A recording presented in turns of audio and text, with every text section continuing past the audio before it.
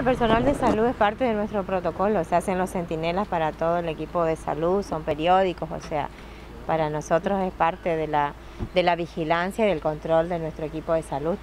Ajá, no es por un caso en particular, digo porque eh, cuando se conoció la noticia es como que se planteó alguna alarma más dentro del sistema sanitario. La verdad que cada uno de los casos va dando diferentes contactos y se va avanzando en la investigación y se continúa con los controles y se programan hisopados. Esto ha sido en el marco de los centinelas de salud.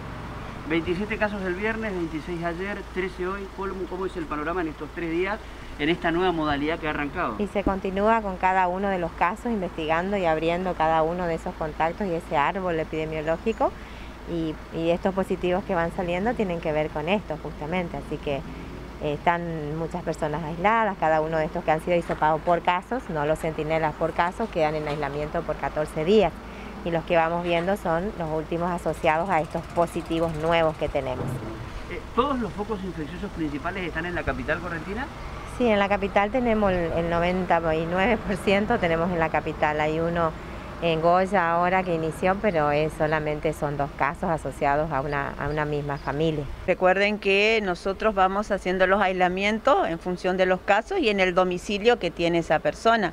Cuando tuvimos el número interesante de casos en la tipo Haití, obviamente eso eh, requirió domicilios en diferentes barrios porque dependían de dónde vivan las personas y así vamos a seguir haciendo.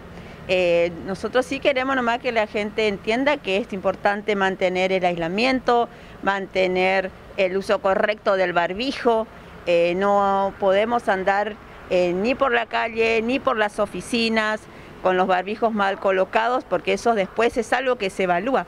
Una de las condiciones, por ejemplo, para determinar el riesgo de una persona es el uso correcto del barbijo y el distanciamiento